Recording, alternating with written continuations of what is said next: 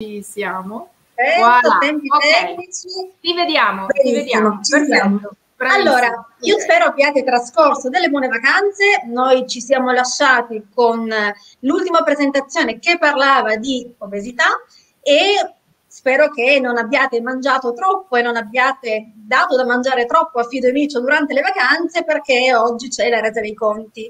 Per cui facciamo il punto della situazione eh, cercando di capire perché i nostri pezzi, i nostri benemini in effetti siano eh, in status di sovrappeso. Chi era presente nella diretta precedente saprà che l'incidenza dell'obesità è elevatissima nel cane e nel gatto. Si parlava di circa il 50% dei gatti e circa un terzo dei cani. Le cause possono essere disparate, una ridotta attività fisica, quindi delle abitudini di vita e uno stile di vita non adeguato, lo status di sterilizzazione, ma certamente eh, una delle cause principali è la sovralimentazione. Eh, la sovralimentazione che purtroppo spesso dipende da un nostro errore inconscio, perché se facciamo riferimento ad un'alimentazione commerciale, ad esempio a base di crocchette, o di scatolette, quindi di umido, e facciamo riferimento a ciò che è scritto sul retro della confezione per sapere quanto, quanto cibo dare a fidumicio, come vedremo al termine della, eh, del presente webinar, possiamo commettere un errore. Ma non eh, perdiamoci in ulteriori commenti e iniziamo, tra virgolette, a dare i numeri. Eh, io, come dico spesso e ho detto anche durante una delle, delle dirette precedenti, la nutrizione non è filosofia, la nutrizione è scienza, ma mi spiace per voi, la nutrizione è anche matematica.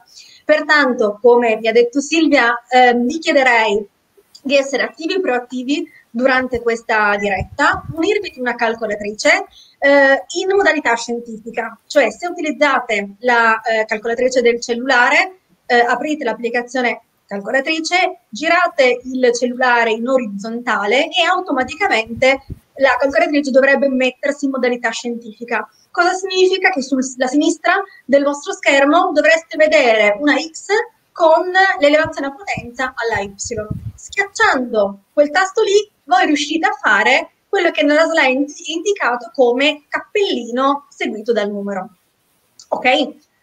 Quindi, le, dette le istruzioni, partiamo dai calcoli, cioè quanta energia dobbiamo dare al nostro amico cane.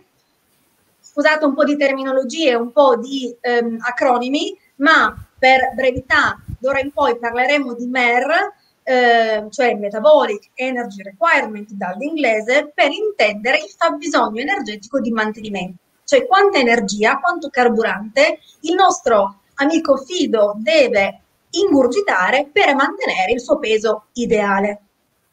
E per ritornare al discorso del peso ideale, ricordatevi il concetto di body condition score di cui avevo parlato nelle eh, relazioni precedenti. Allora, quanta energia deve assumere il nostro amico Fido per mantenere il suo peso ideale? Calcolatrice alla mano, noi consideriamo che l'energia espressa in chilocalorie totali giornaliere dipende dal peso ideale stimato elevato ad un coefficiente standard che è 0,75 moltiplicato per un fattore che è 110. Cerchiamo di capirci facendo un esempio. Se io ho un cane meticcio di 3 anni, maschio intero, di 10 kg di peso ideale, quanta energia questo cane deve assumere nelle 24 ore per mantenere il peso ideale di 10 kg?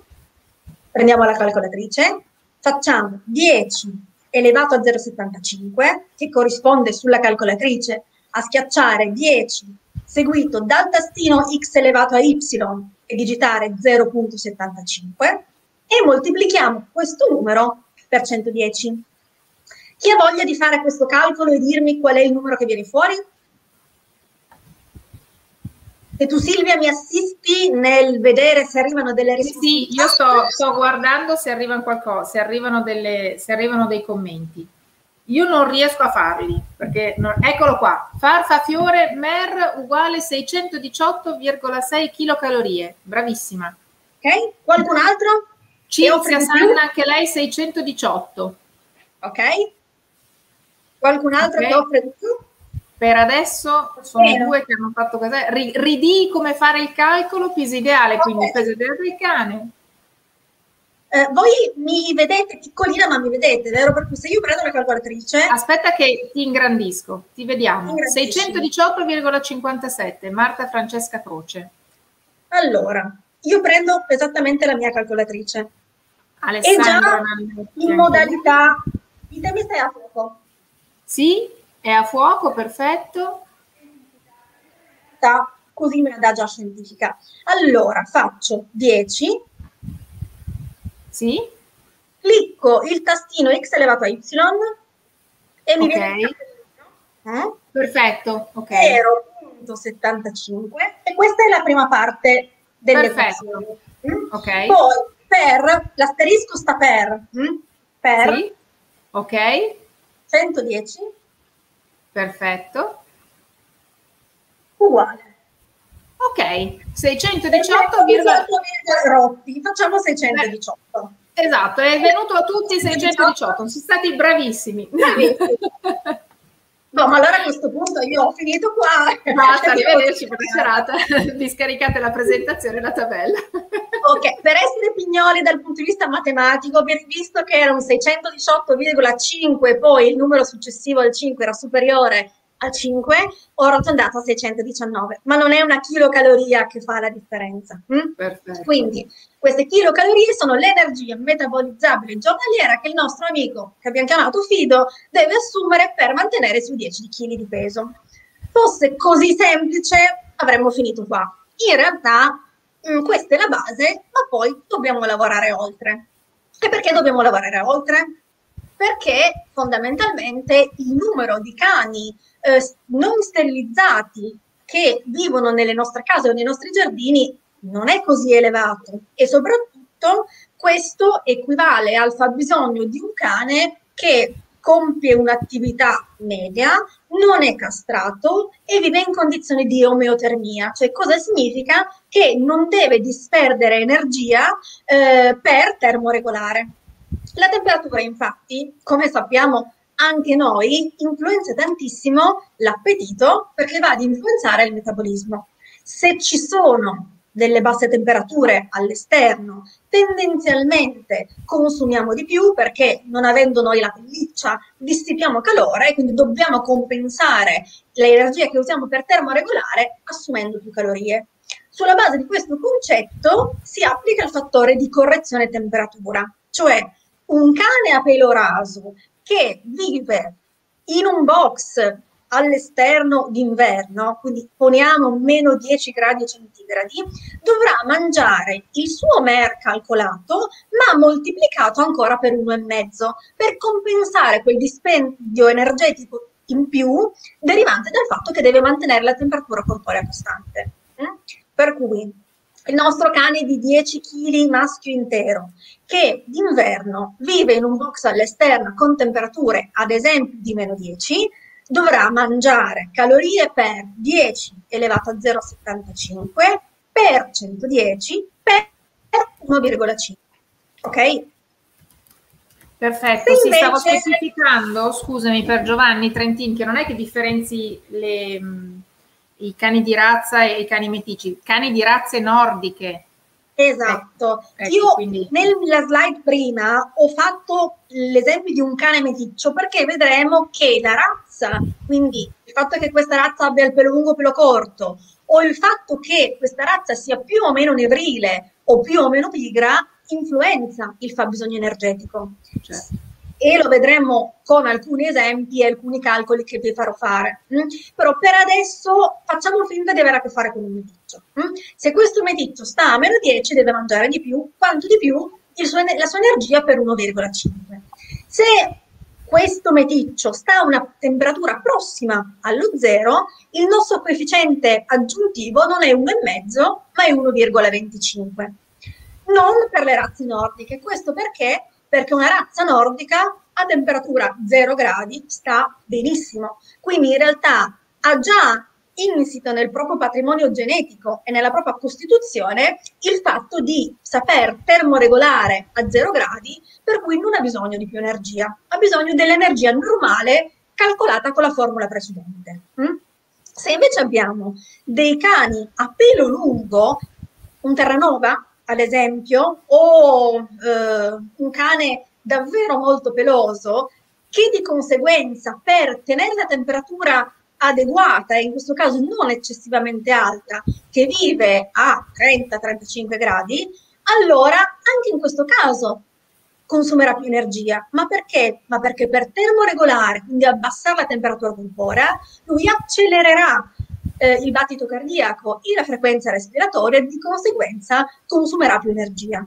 Quindi se avete un Terranova che vive in Sicilia d'estate, probabilmente questo cane se vive fuori con una canicola di 35 gradi dovrà assumere più energia rispetto allo stesso cane a temperature di 15, 16, 18 gradi. Ok? Ok. Tutto chiaro? Tutto chiaro. Vi faccio quindi una domanda. Il nostro cane eh, meticcio, che a questo punto non pesa più 10 kg ma ne pesa 15 e che vive a eh, meno 12 gradi, impostatevi soltanto la, la, la, il calcolo in chat. Ditemi come fareste il conteggio senza darmi il risultato. Ok, adesso aspettiamo che ci siano delle risposte e nel frattempo specifichiamo che non è che perché il cane ha il pelo lungo dobbiamo tosarlo eh, per fargli avere no no no no assolutamente. Questo... è nato col pelo lungo un motivo ci sarà. Esatto. Perché se, se gli togliete il pelo soffre ancora di più ecco diciamo esatto. ecco. Adesso ho oh, 1, no, Alessandro Nannetti dice 1,257 Ehm, Veramente lui ha già fatto il calcolo delle calorie. Volevo esatto. soltanto che mi impostaste la, la, la, il calcolo, la, proporzione, l'equazione. Ecco, dici con che cosa hai moltiplicato. Allora, Marta Francesca Croce per 1,5, ok? okay. Farfa Fiore per 1,5, addirittura ha messo tutto il calcolo, bravissima. Dimmi tutto il calcolo. 15 eh, per 0,75 per 100, insomma il, la, la, è elevata a 0,75 per 110 per 110 per 1,5 perfetto benissimo. E anche, lei, anche, anche Marta Francesca Croce per 1,5 Mer per 1,5 ok. Volevo soltanto vedere dove mi mettevate questo 1,5, è giusto, in coda al, al calcolo. Ok, e per il, la, la temperatura ce l'abbiamo fatta c'è il discorso temperamento barra sterilizzazione. Come vi dicevo, ehm, il fatto di essere più o meno nevrili o più o meno pigri mm, interferisce col dispendio energetico. Se il mio soggetto è sterilizzato, sia esso femmina che maschio, noi dobbiamo utilizzare il calcolo di partenza e ridurre di un circa 20% le kilocalorie moltiplicando il fabbisogno di base per 0,8. Mm? Moltiplicare per 0,8 più o meno, ve ne accorgerete che significa ridurre di circa il 20% l'apporto calorico giornaliero. Questo perché, lo sappiamo benissimo, se abbiamo un cane o un gatto sterilizzato, la sterilizzazione rallenta il metabolismo e quindi per mantenere lo stesso peso devi mangiare di meno. Mm? Quindi il nostro cane meticcio maschio sterilizzato di 10 kg, anziché 10 per, elevato a 0,75 per 110 dovrà mangiare 10 elevato a 0,75 per 110 per 0,8. Al contrario, se un cane è molto attivo, questo 0,8 diventa un 1,3, ovvero più energia perché solo vivendo io consumo di più. Se siamo veramente nervosi, ad esempio, i cani che effettuano eh, attività eh, insomma, eh, di caccia, quindi venatoria, o sono cani da lavoro che magari passano tutto il giorno a fare avanti e indietro nel box, o il classico cane che sta in giardino e rincorre il postino e rincorre le auto o le biciclette, quel cane lì farà un'attività fisica spontanea molto elevata, quindi probabilmente consumerà molto di più rispetto allo stesso cane che invece vive in, eh, in appartamento. Di conseguenza dobbiamo aumentare il suo fabbisogno energetico di 1,4 volte, quindi moltiplicare per 1,4. Mm? Maschi e femmine femmine sterilizzati uguale, scusami. Uguale, sì, maschi sterilizzati uguale. Ehm, anticipo un'altra cosa, i fattori di correzione si sommano, cioè se io ho un cane sterilizzato ma che vive a meno 10, io li applico tutti e due in sequenza. Poi è chiaro che uno toglierà e l'altro aumenterà, ma è sempre corretto applicarli tutti, se non in rarissime eccezioni. Hm? Ma di solito queste rarissime eccezioni li si decide sulla base della, della pratica, dell'esperienza. Di base direi applicate tutti i fattori di correzione in sequenza. Mm? Anche i temperamenti li sommi, perché se è sterilizzato ma è comunque molto attivo e assolutamente, e... Assolutamente sì. Eh, se non ci sono dubbi o perplessità, andiamo direi avanti. Ah, altra cosa, tutti i calcoli che io vi sto proponendo, così come questi numeri, non me li sono inventati io, derivano certo. dalla combinazione di una serie di studi scientifici fatti nel corso del tempo e queste informazioni sono poi state acquisite e validate dalla FEDIAF, che è l'organismo europeo che detta legge in materia di formulazione di diete commerciali o casalinghe, digeribilità, calcolo dei fabbisogni e quant'altro. Ok? Certo.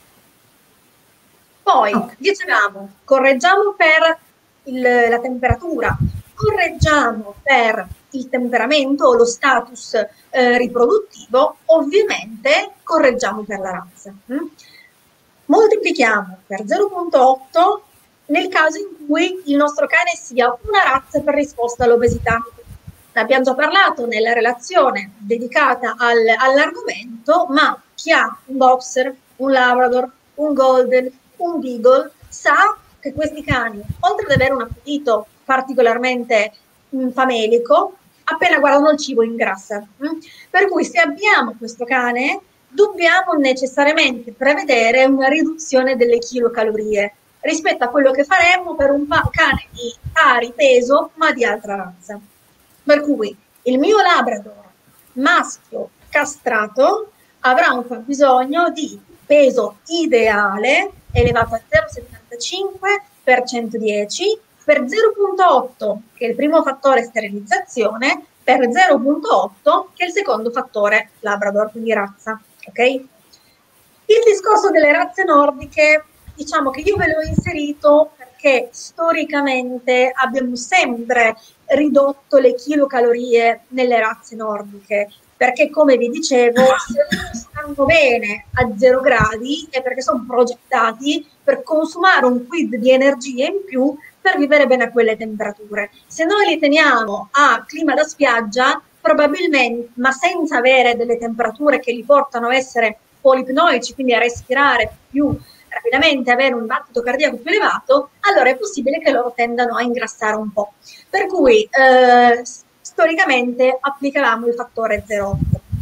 In realtà per esperienza mi è capitato che re- recenti dinastie di Aschi piuttosto che di Malamut non avessero bisogno di questo 0,8 perché probabilmente il fattore cane nevrile compensava. Per cui la cosa giusta sarebbe magari applico lo 0,8 per razza nordica, ma magari mi applico un 1.2 o 1.3 per temperamento. Mm?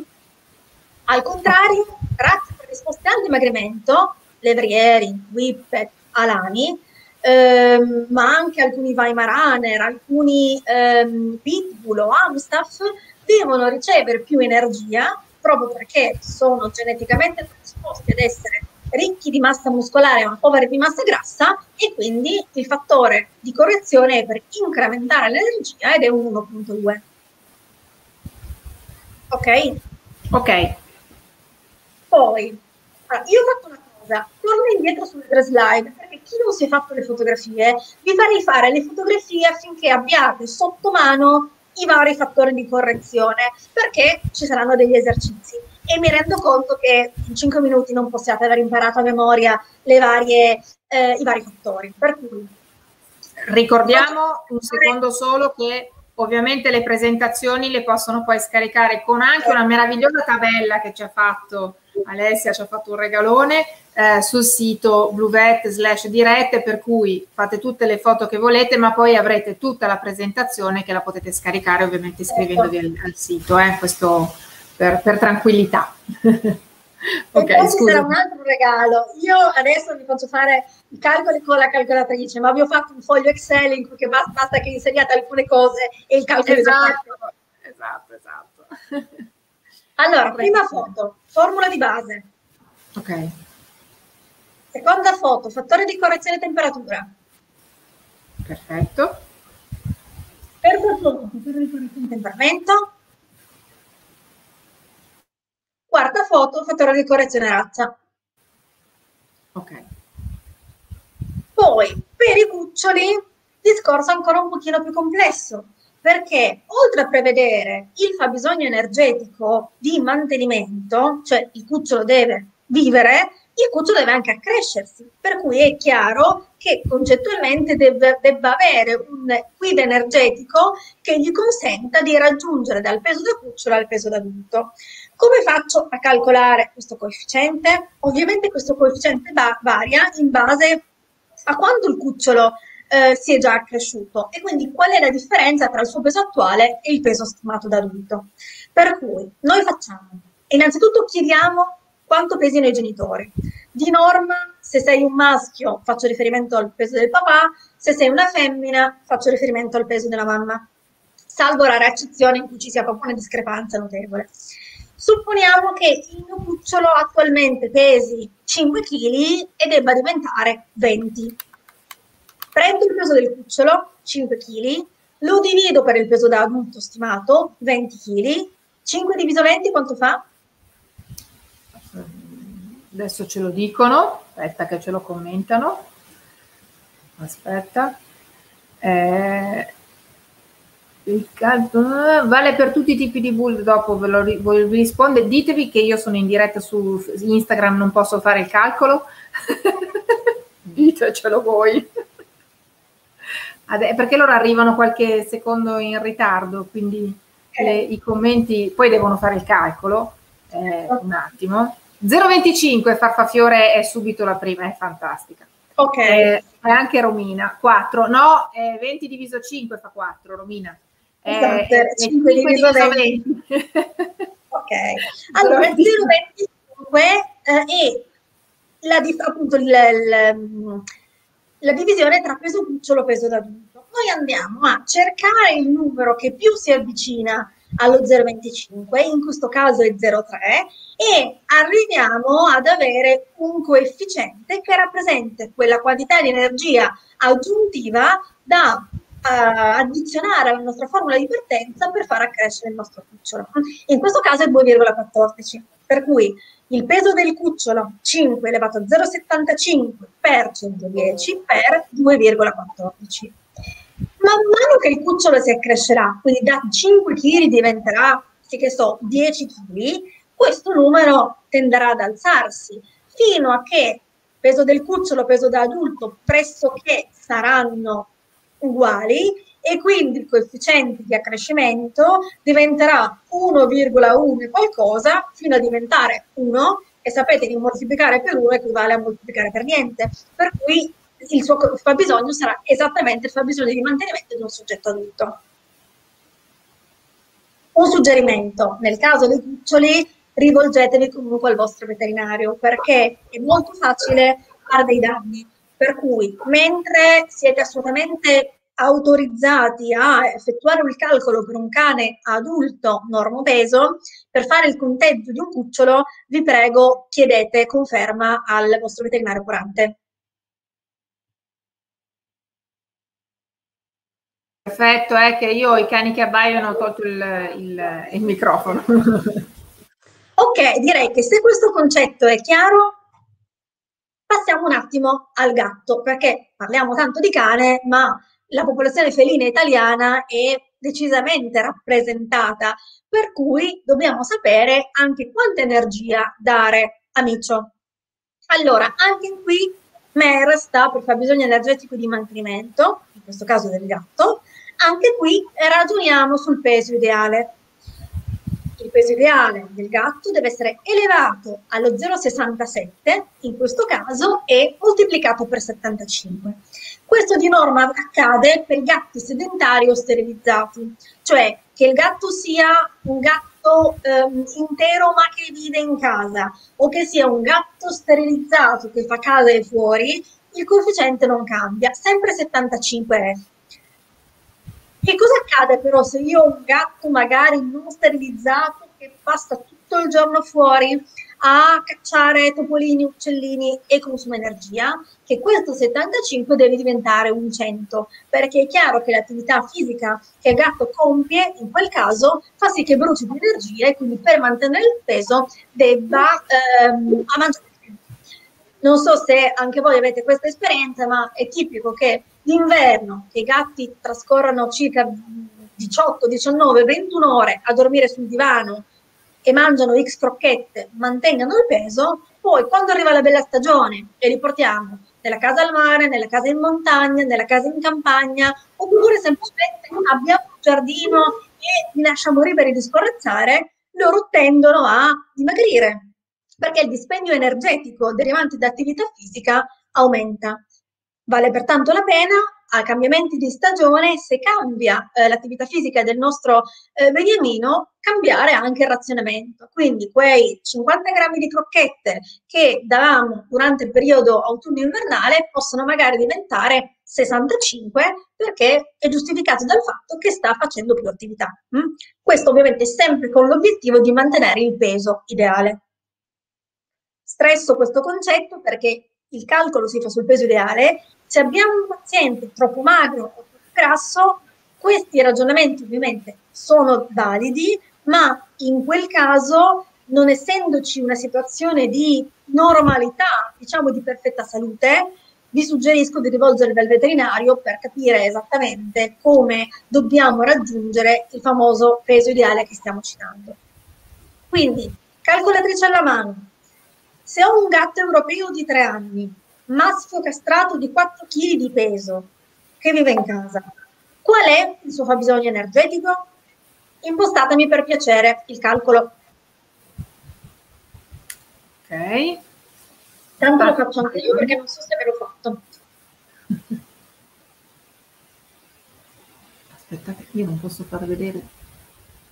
Ok.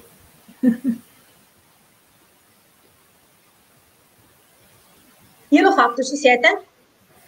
Eh, non ancora. Intanto dico agli amici di Instagram di venire a seguirci su Facebook o su YouTube. Arrivederci a tutti. Chiudo la diretta perché sennò... Ecco. Elimina, elimina, ok.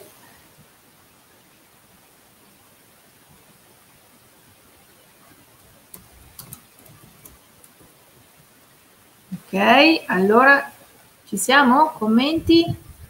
Ah, allora 189,86, quindi 190, 189. Metri. Allora, oddio, ci siamo? Commenti?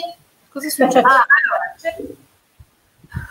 scusate, era partita, una, era partita un'altra, un'altra roba. Quindi, ok, eh, Perfetto. È giusto, perfetto. 189 anche Cinzia Sanna. 10. Bravissimi. Ok. Viviana Vegni, uh, vediamo. Giusto, perfetto, perfetto. bravissima. Ehm, per il gatto non c'è molto di più da dire, nel senso che eh, non c'è tra un gatto e l'altro questa enorme variabilità di mole somatica, quindi le oscillazioni di dispersione energetica eh, sono meno importanti e quindi il fattore razza è meno importante. Dove consideriamo il fattore razza? Diventa, immagino, facile eh, intuirlo laddove, ad esempio, abbiamo dei gatti senza pelliccia, per cui gli Sphinx o i Demon Rex dovranno mangiare di più e io o sia l'uno che l'altro e vi dico, ve ne accorgete, perché per termoregolare, quindi mantenere la temperatura corporea, consumano più energia e di conseguenza questa energia devono attingerla dall'alimento. Per tutte le altre razze, è vero, abbiamo delle razze più predisposte ad ingrassare piuttosto che altre, ma tutto sommato grosse differenze non ce ne sono. Per cui io, a meno che non abbia uno Sphinx o un Devon, eh, tendo a non fare delle grosse differenze in base al fattore razza, ok? Ok. Perfetto. E a questo punto diamo i numeri. Al solito. Allora, eh, io vi direi, dividetevi, cioè scegliete ciascuno un caso, mh? Hm? oppure se siete più davanti a un computer, dividetevi in gruppetti. Eh, qualcuno fa il caso 1, qualcun altro fa il caso 2 e qualcun altro ancora fa il caso 3. Ve li illustro. Cane Labrador, femmina sterilizzata, 3 anni, 28 kg di peso ideale, che vive a una temperatura tra i 15 e i 20 gradi, che svolge un'attività fisica normale, che noi in gergo chiamiamo lieve a basso impatto, cioè non fa né eccessivo moto, ma non è neanche un cane pigrone. Qual è il fabbisogno energetico giornaliero per mantenere il peso ideale di 28 kg? Ecco, aspetta che gliel'ho messo un po' ingrandito perché sennò si perdono. Labrador sterilizzata, 28 kg, temperatura piacevole, insomma. Ok. Aspettiamo che prendano, che fa, facciano tutti i calcoli. Intanto illustro il secondo caso perché qualcuno magari vorrà non fare il Labrador ma fare il Whippet. Esatto. Cane Whippet, maschio intero, Uh, intero significa che non è castrato, eh? non che certo. i cani di prima erano stati divisi a metà e che questo invece è tutto intero.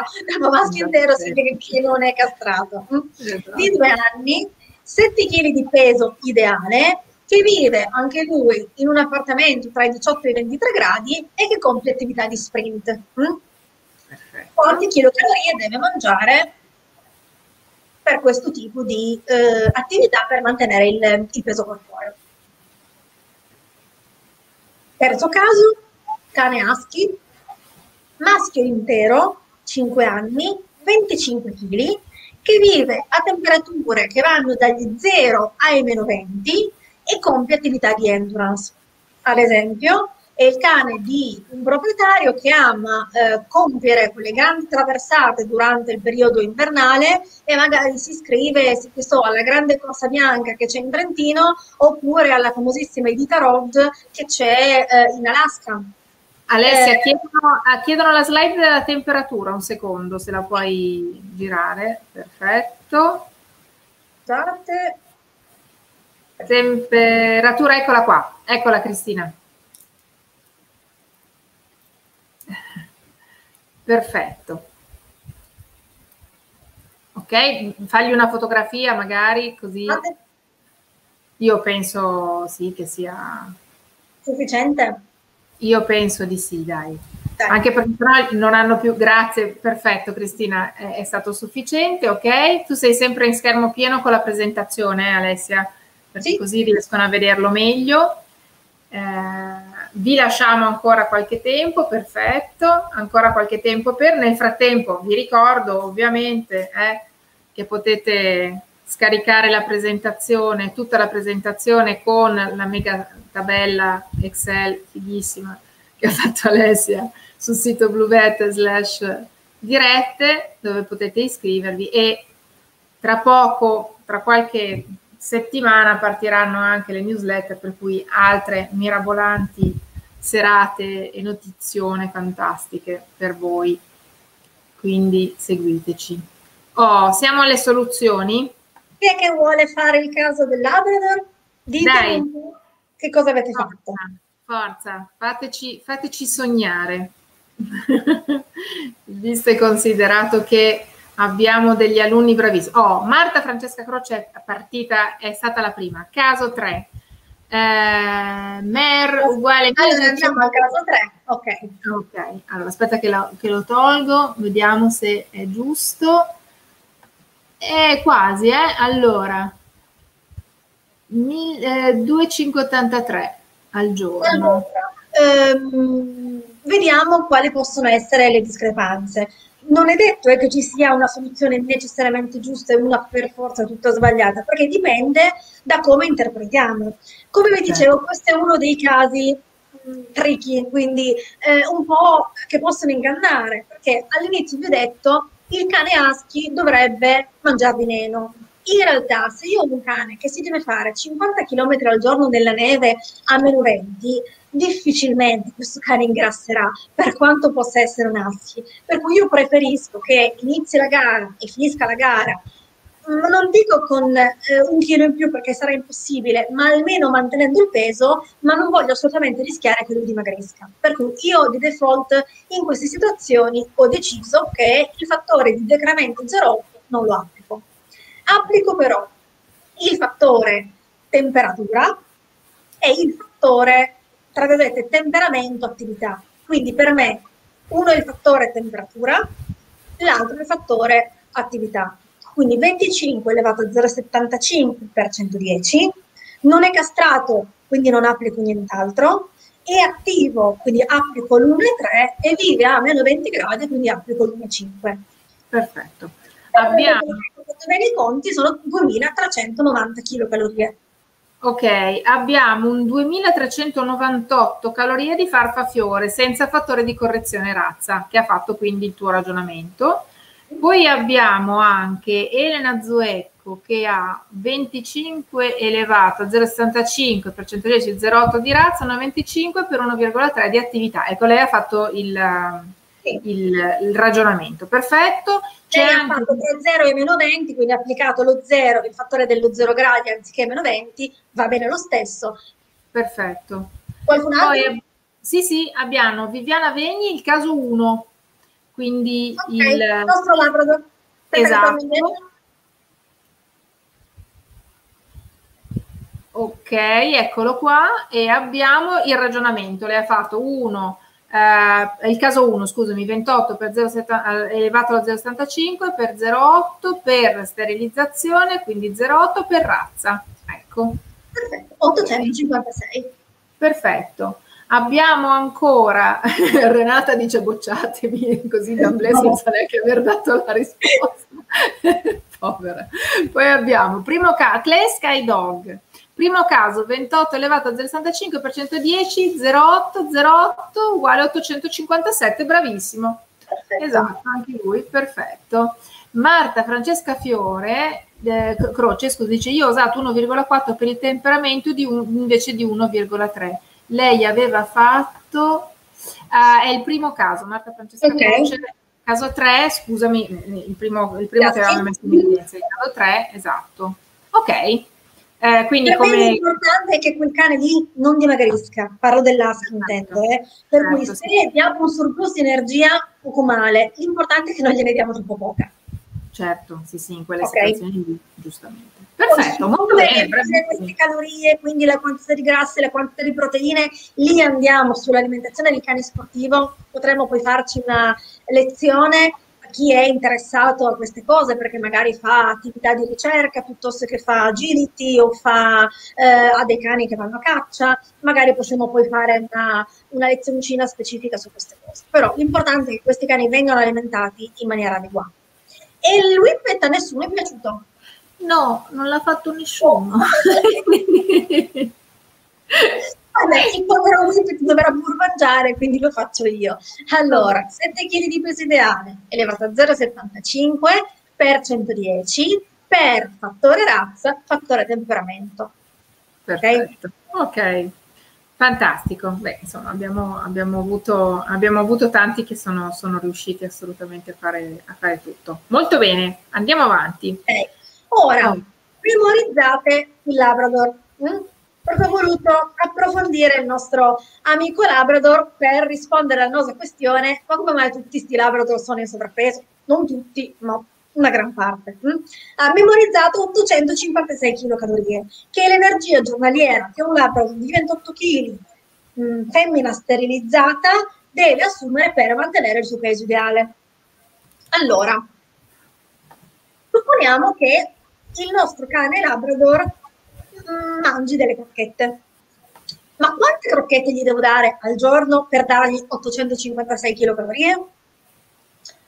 Beh, ovviamente devo sapere quanta energia c'è nell'alimento commerciale che io sto dando, ma l'energia sugli alimenti commerciali non è quasi mai dichiarata. Perché? Perché non rappresenta uno di quei fattori, di quelle informazioni obbligatorie che secondo la legge 767 del 2009, che eh, regola l'immissione e la commercializzazione del pet food, eh, sono obbligati a darvi. Ma possiamo calcolarcela l'energia se partiamo da quelli che sono i componenti analitici o l'analisi chimico-centesimale.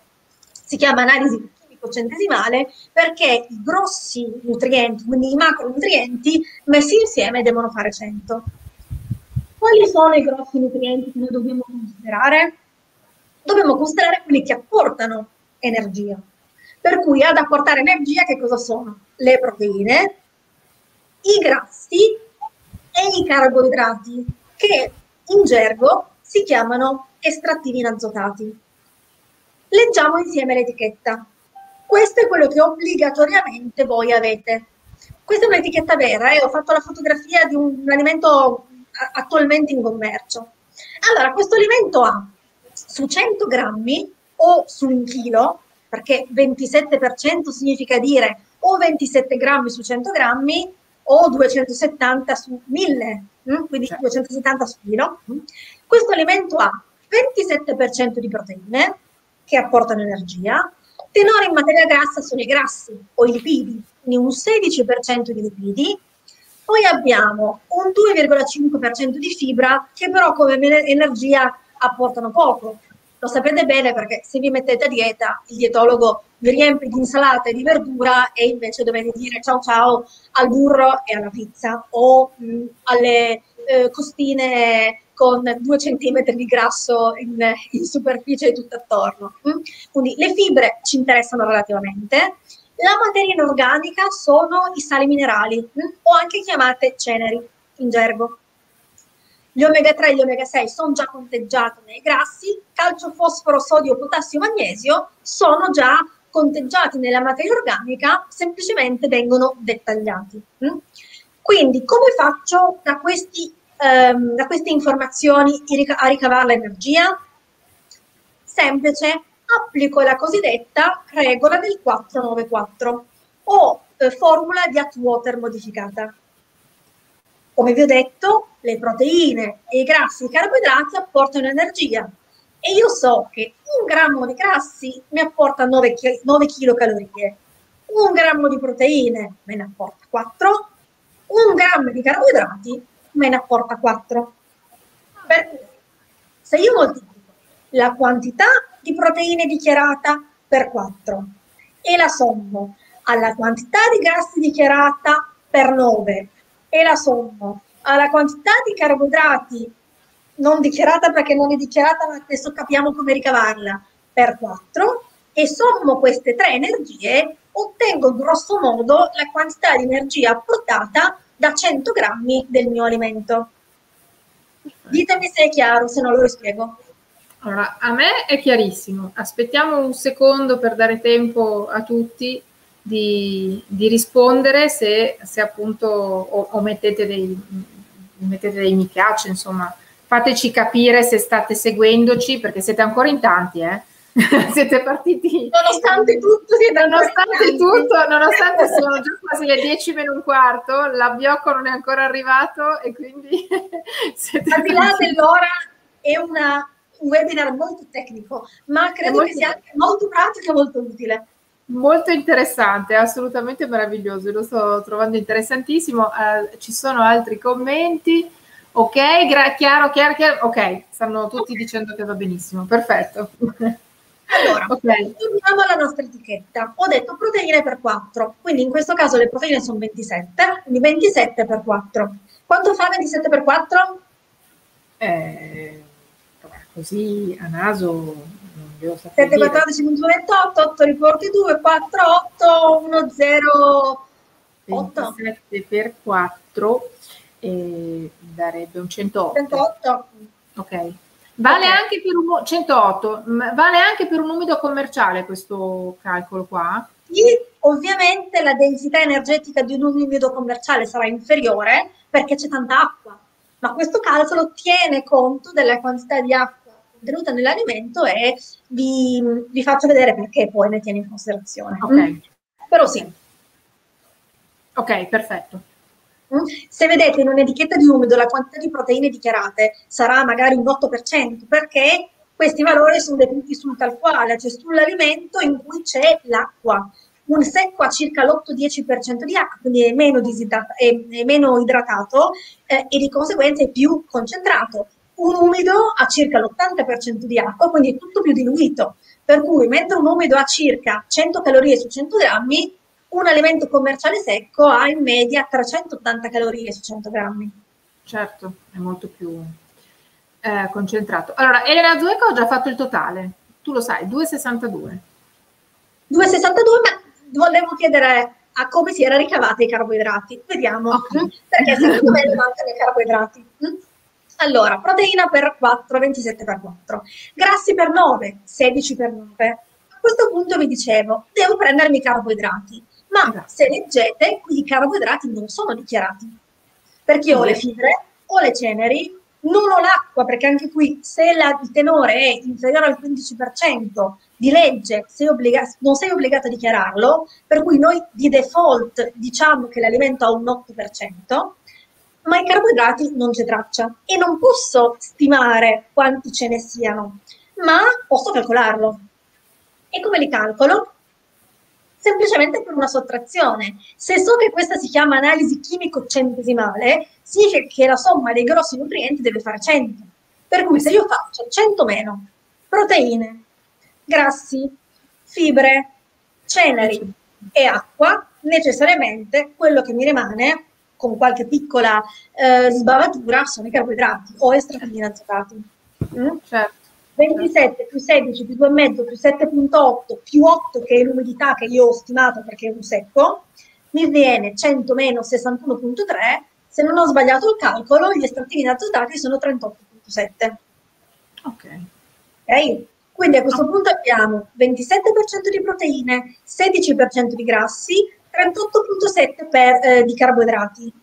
I primi due li avevo già moltiplicati per i loro coefficienti, moltiplico i carboidrati per 4, sommo tutto e ottengo 4060 kcal chilo che corrisponde a 406 kcal su 100 grammi. Certo. Ok? Ok. Tutto chiaro fin qua? Chiarissimo, sì, assolutamente. Sì, sì, sì, sì. Fortunatamente però questa etichetta ci dava l'energia metabolizzabile che è 386 kcal su 100 grammi. Come vedete la formula di attuo termodificata sovrastima un po' l'energia, ma in realtà sono 200 calorie su chilo, che è veramente poco, cioè 20 calorie su 100 grammi, ok? Certo. Poca roba, per cui considerate questo metodo assolutamente eh, affidabile. Okay. ok, abbiamo detto, ritorniamo al nostro Labrador di prima. Quante calorie doveva mangiare il nostro Labrador di prima per mantenere i suoi 28 kg di peso? Vediamo se qualcuno ha fatto i compiti. Vediamo il tempo. Bellissima questa, questa diretta. Torniamo al Labrador. 856, ve lo dico io. 856. Okay. Mm? A questo punto, qual era la domanda iniziale di questo brainstorming? Quanti Però che lei c'era arrivato, eh? guarda, l'hai dato, l'hai dato ha dato la risposta prima che tu dessi, che tu dessi oh, la domanda. Attento, un premio. Un premio. allora, qual era la domanda che ci siamo posti all'origine? E il mio Labrador, che deve assumere 856 calorie al giorno, di queste crocchette così strutturate, che apportano 386 calorie su 100 grammi, quanti grammi gliene devo dare? Certo. E qui dobbiamo fare una proporzione.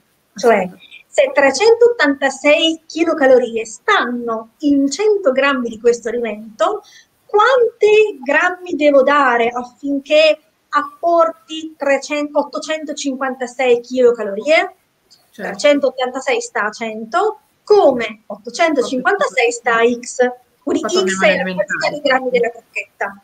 Poi, Perfetto. chi di voi non si ricorda come si risolvono queste proporzioni, moltiplichiamo i centrali, moltiplichiamo gli estremi.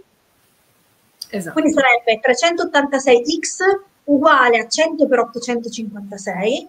Per trovare la x divido per il numero che c'era dall'altra parte, quindi 856 per 100 diviso 386, x uguale 221 grammi al giorno. Perfetto, assolutamente, sì sì sì. Chiaro? Chiaro. Assolutamente Qui chiaro. Si inizia a dare mare a volte, eh? perché tutto chiaro fin qua, poi le proporzioni è una roba forse da boh, scuola media. E media penso, sì, però erano belle le proporzioni. Era, era ah, io amo la matematica, come potete vedere, per cui per me eh, è, è, un giochetto divertente. Sì, Mi esatto. rendo conto che per molti che magari fanno un lavoro in cui la matematica la vedono solo così di passaggio, possa non essere così immediato. No, Però no. spero di avervi condotto con il no, ragionamento no, il perché della proporzione. Molto interessante. Ok, allora, sì. questo cane per mantenere 28 kg di peso e di conseguenza assumere 856 calorie al giorno, deve mangiare 221 grammi al giorno di queste crocchette. Esatto. Eh? Molto bene. Se però noi non seguiamo le dirette Blue Vecchio e non facciamo il calcolo personalizzato delle kilocalorie e facciamo riferimento solo a quello che c'è scritto sul retro della confezione, guardate un po' che cosa succede. Succede che per un cane che dovrebbe stare tra i 26 e i 44 kg, e già qui c'è una forbice molto ampia, la quantità suggerita dall'azienda è di 285 fino a 420 grammi al giorno di crocchette. Ora, un proprietario ehm, così ehm, accorto dice, ma il mio cane è intorno ai 30 kg, più o meno 30 sta a metà tra 26 e 44, per cui gli darò 310, 320, 350 grammi. Un proprietario che non si pone il problema, ma dà retta allo stomaco del cane, magari la prima volta gliene dà 350, vede che il Labrador c'ha ancora fame, perché i Labrador hanno sempre fame, allora aumenta e dice vabbè, io posso aumentare fino a 420, quindi te ne do 420. Ma esatto. se voi seguite la diretta Blue Vet e fate il calcolo per il vostro cane Labrador sterilizzato, sapete che gliene dovete dare 221 di grammi al giorno. Esattamente, e capite che se lo alimentate a 420 grammi, come c'è scritto sulla confezione, eh, è chiaro che nel giro di breve il vostro Labrador, Labrador sarà in sovrappeso. E poi è colpa della sterilizzazione, no? E poi è colpa della sterilizzazione. è anche colpa della sterilizzazione, anche... nel senso che queste tabelle qui non tengono in considerazione le variabili fisiologiche cui noi andiamo incontro, perché non c'è scritto che questo alimento va bene solo per i labrador femmina sterilizzati, ma questo mh, mm, alimento va bene per qualunque cane di taglia da mini a large. Non è vero, da medium a large, scusate. E dal medium a large abbiamo il labrador, eh, abbiamo il beagle, abbiamo il setter, abbiamo eh, il meticcio, eh, abbiamo cani che per temperamento, razza, ehm, stile di vita eh, hanno dei fabbisogni energetici molto diversi. È verissimo. Com- hanno fatto due commenti, eh, tutti e due molto pertinenti. Il problema è che spesso si basano sul peso del cane che magari è già in sovrappeso o peggio ancora, Stefano giustamente dice magari manco pesano e vanno ad occhio, quindi assolutamente. Esattamente. più frequente ancora. Assolutamente. Questa diretta da guardare e riguardare. Le, tarbe- le, tabelle sono assolutamente fuorvianti, è vero, e le tabelle dei, dei cibi, assolutamente verissimo. Sì, sì, sì. Molto bello. Eh, quest'ultima slide solo per dirvi che questa è la base di partenza per la formulazione e eh, il razionamento anche delle diete casalinghe Ovviamente il quadro qui si complica perché oltre alle calorie dobbiamo conteggiare tutti i micro e i macronutrienti. Gioco forze per una dieta casalinga non solo ci vuole la calcolatrice ma ci vuole un software. Mm? Eh, per cui anche in questo caso mh, mm, vi suggerisco di non fare il fai da te ma di affidarvi a un professionista che possa supportarvi nella formulazione. Eh, vi faccio ancora vedere una cosa. Come vi ho detto vi darò eh, alcuni file questo è il file Excel pronto per calcolare in un botto solo i carboidrati e le calorie dell'alimento. Per cui voi inserite l'acqua. Non la vediamo, eh. stiamo, stiamo, vedendo ancora la tua ah, presentazione. Vedete, eh? E perché devi condividere un altro foglio se stavi...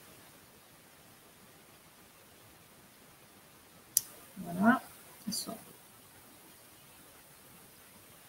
Nel frattempo voi commentate con Bluvet, hashtag Bluvet che, che arriva la sorpresa. Eccola qua.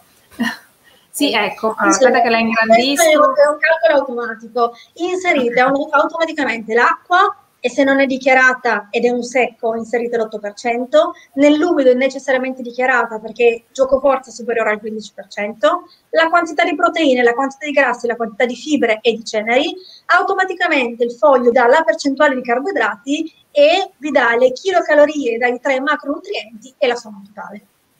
Ecco, quindi ha fatto tutto, visto che le piace la matematica, ha fatto tutto in automatico. Questa, questa, tabella insieme alla presentazione di oggi, come sempre, sul sito bluevet slash dirette. Lo potete scaricare già da adesso, eh, quando, quando, chiudiamo la diretta potete andare a scaricare tutto quello che volete. Ovviamente c'è anche l'attestato di partecipazione come, come, al solito.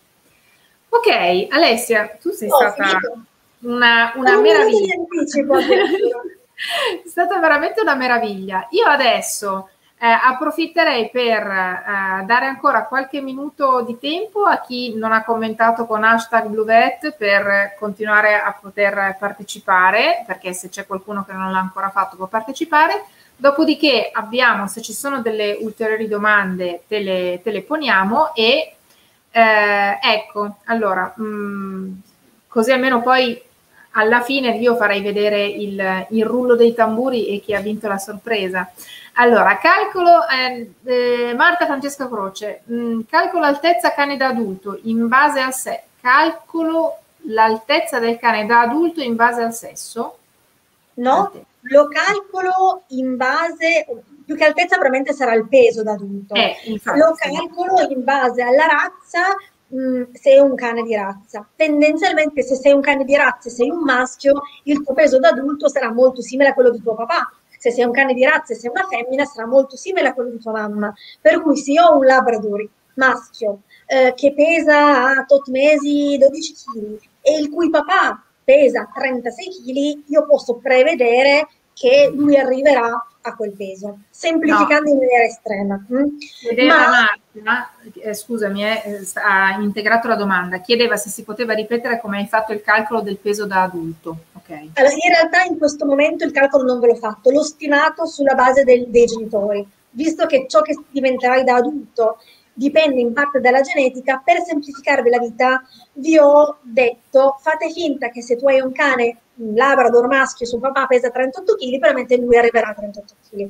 Non è proprio così, nel senso che anche qui esistono delle equazioni molto molto più complesse che ci permettono di calcolare la curva di accrescimento e definire se il mio accrescimento è in linea secondo le curve attese o in quale percentile della curva si colloca.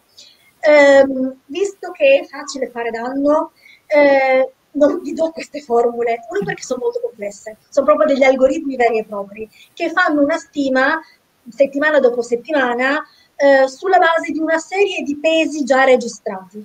Per cui se io ho il peso registrato in una data, eh, riesco a stimare quante calorie quel cane deve assumere in quel momento e proiettare tramite dei modelli matematici quanto quel cane peserà da adulto. Sono formule molto complesse, ehm, non ve le faccio vedere. Eh, In linea generale, quello che facciamo è se tu sei un Labrador maschio e tuo papà pesava 36 kg, è verosimile che tu possa arrivare a 36 kg. Quindi partiamo da quello. Esatto. E quindi il peso del cucciolo in quel momento diviso 36. Ok? Perfetto, perfetto. Allora, eh, ovviamente... Di un professionista. Sì, esatto. La cosa, è, e qui io ribadisco la, la, la, cosa, perché qua ovviamente si fa eh, richiesta di fare un incontro sulla dieta casalinga. Eh, faremo sicuramente un incontro sulla dieta casalinga, eh, magari eh, qualche cosa di più approfondito lo farà la dottoressa proprio in sede presso l'ospedale veterinario a Nubi, quando, quando si potranno fare degli incontri proprio eh, con, tutti, tutti, con, con la possibilità che tutti possano partecipare eh, per qualche cosa in, ehm, in, differita, quindi in diretta Facebook, faremo qualche cosa, ma il consiglio è quello assolutamente di rivolgersi a un professionista per la dieta casalinga, perché è veramente eh, pericoloso fare una dieta senza, senza un calcolo corretto e personalizzato, questo assolutamente. Intanto che voi, mm, ehm, che voi andate a continuare a commentare con hashtag Luvet, io vado a prendere lo strumento, lo condivido e faccio vedere che andiamo a... Si vede? Eh? Sì, ok, perfetto. Che, che, si sta vedendo chi ha commentato con Bluvet. Se, se, se c'è un commento anche di... Ah, eh, mi ero spaventato, ho detto se vince Bluvet dobbiamo rifarlo. Evelina Polin ha vinto eh, la sua sorpresa, quindi Evelina Ma adesso vogliamo sapere cos'è la sorpresa o non è di una sorpresa? Se eh, non, si può, non si può ancora sapere perché noi assolutamente eh, al momento non si può ancora sapere. So che sono più sorprese, ma è bellissima. Una la so, la conosco, non vi posso spoilerare assolutamente nulla, anche perché ci dovranno essere ovviamente delle foto che ci manderete.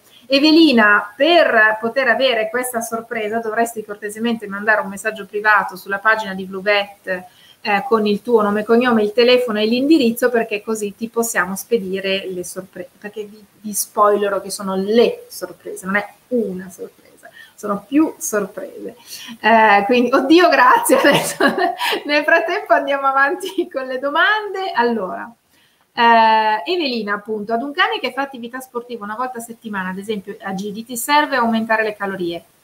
Eh, l'abbiamo detto prima, quindi devi riguardarti, riguardarti la direzione. No, allora, ehm, se una volta sola alla settimana, eh, visto e considerato che spesso si lavora con dei premi e delle ricompense di cibo, io non aumento le calorie, eh, perché non è eh, trasliamo il discorso alla, medic- alla medicina alla nutrizione umana, ma funzioniamo come loro e loro funzionano come noi, non è che se noi andiamo in palestra o a farci una corsetta una volta alla settimana dimagriamo, perché l'organismo è abituato a delle fluttuazioni energetiche che cerca di annullare.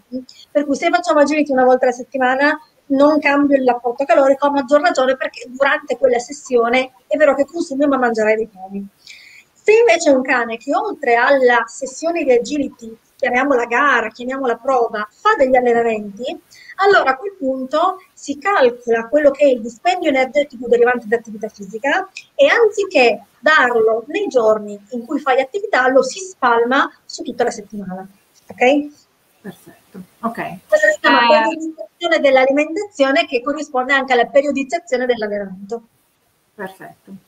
Eh, Renata chiede un calcolo, lei fa l'alimentazione casalinga, Renata tutt'al più magari ti passo il contatto di Alessia, la cosa migliore sarebbe quella di, di farti seguire un attimo, farti da, prendere una consulenza, tanto Alessia segue anche online, così almeno eh, Renata tra l'altro è, è, una nostra collaboratrice, insomma è, è, proprio una cara amica, quindi ti daremo sicuramente, ti daremo sicuramente la possibilità di avere Molto una consulenza. Eh, così almeno è. Ok, Evelina, sì, ti sei collegata tardi, nessun problema, però effettivamente questa risposta, non, questa, questa considerazione non l'aveva fatta prima, per cui puoi andare a riguardarti tutta, questa, tutta la diretta tenendo in considerazione questa, questa, questa considerazione, considerazione, questa considerazione. Ragazzi, sono le 22.06, ma tu sei stata millimetrica addirittura. Allora, ma su un cane invece che non è in sovrappeso, anzi, essendo un alano sembra magro, perché un alano grasso è, è raro, ma il veterinario dice che sta crescendo bene. Come si capisce se è fame o è gola? Eh, qua ci sono delle altre. Allora, diciamo che il, sembra magro, può anche essere normale per un alano, perché un alano fisiologicamente ha una quantità di grasso corporeo sottocutaneo inferiore rispetto a un labrador. Se però il cane si sta crescendo bene, calcolando le famose curve di accrescimento, lui sta nel percentile giusto, allora io preferisco che arrivi a fine accrescimento leggermente più magro, perché questo non va a gravare sulle cartilagini di accrescimento e quindi non crea dei microtraumi da eccesso di peso, e poi al massimo faccio la, eh, insomma, finitura della condizione corporea nel momento in cui lui è diventato adulto. Mm? Eh, ma tendenzialmente se cane sta bene, se sta crescendo bene,